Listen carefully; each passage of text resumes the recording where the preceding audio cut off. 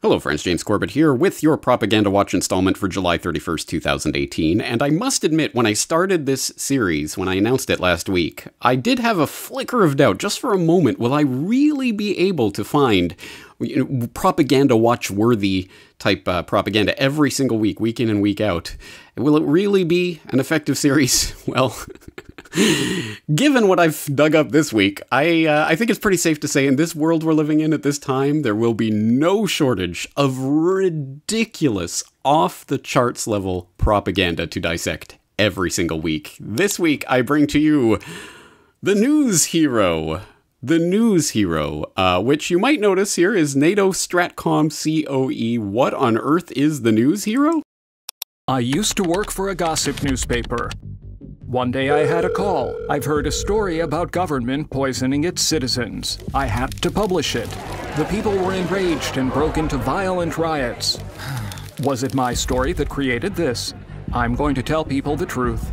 I rented a small office and hired an assistant. We started receiving reports from freelance journalists. Some were true, some not so much. I promised myself to never let a story go this far and report only the truth. Join me on my quest to filter the news. My secretary Bronco will help you out.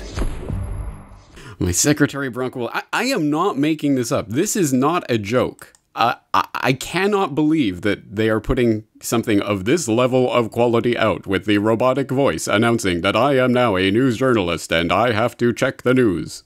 You can help me out at the News Hero. This is. Uh, this is insane. This is so crazy. I had to actually check and make sure this this is really NATO Stratcom COE. For those who don't know, NATO Stratcom COE uh, of course, NATO's Strategic Communications Center of Excellence is not, to its, uh, I guess, to its credit, to its renown, is not actually part of NATO proper. It just uses the name, but it is it is uh, funded and, and signed into existence by NATO members to help spread NATO propaganda. And from the About Us, they start with the quotation: "Since wars begin in the minds of men, it is in the minds of men that the defenses of peace." Must be constructed. What an ominous quote from an outright propaganda organization that is there to promote the interests of NATO. And of course, that comes from the preamble to the Constitution of UNESCO, which should come as no surprise to those who know about the founding and origin of UNESCO, as I detailed in Why Big Oil Conquered the World. But here we go the NATO Strategic uh, Communications Center of Excellence,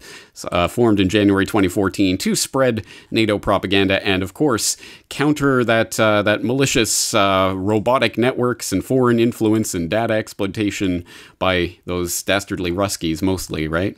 Those Russian bots. And so th- this is the type of thing they're coming up with now.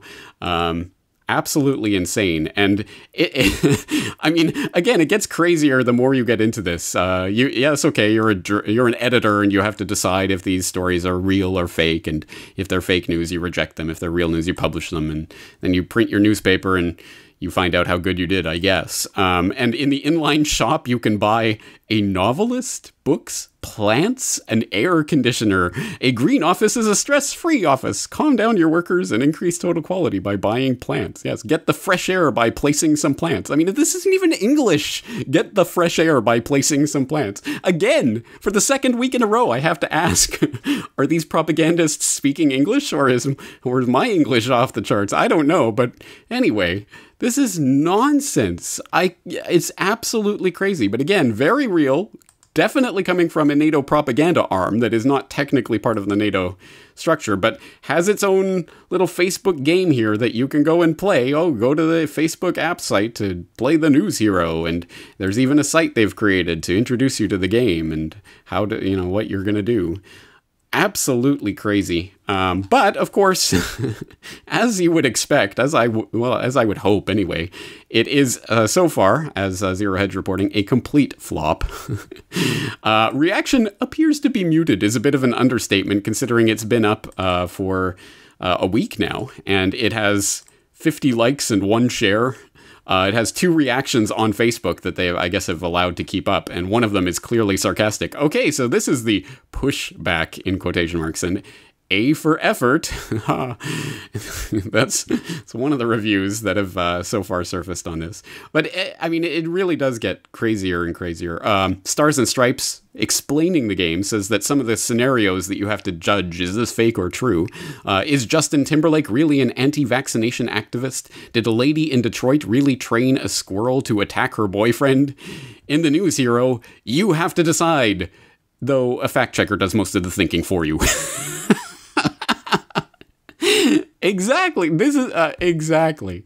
So essentially, I mean, I haven't played the game. I don't have Facebook. I can't play the game. I'm not recommending you play the game, but if you do, I'm going to imagine you find that this is the equivalent of going to Snopes to find out whether a story is true or not. Is going to be the uh, the end goal of the game to train all the citizens to be good, thoughtless zombies who will go to the approved fact checker sources of information to find out whether something is real or fake. If you're right, you gain virtual currency and a larger audience as reader trust grows for your news organization. If only it were so easy in the perilous real news world where profits are elusive and clickbait an ever growing lure. Indeed. Well, uh, yeah, anyway, I just thought I would share this with you. Uh, absolute propaganda nonsense. Unbelievable, but not at all surprising coming from the NATO Stratcom Center of Excellence and other propaganda uh, mouthpiece organs for the military industrial complex, which of course is promoting its Russian bots are behind every every bush, or is it a bush behind every Russian bot? Um, at any rate, I'm going to leave you with that. Propaganda Watch, alive and well here on the Corbett Report. Looking forward to next week.